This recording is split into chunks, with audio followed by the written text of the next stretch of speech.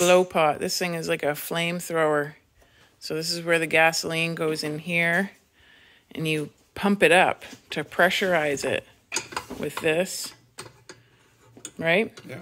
And then you open up the valve here to to let it come out and light it up, and it's like a flamethrower practically. Mm-hmm. You can cook on it, but whoo, you better be ready for some heat. We took this thing camping at 35 below and heated our little tent with it.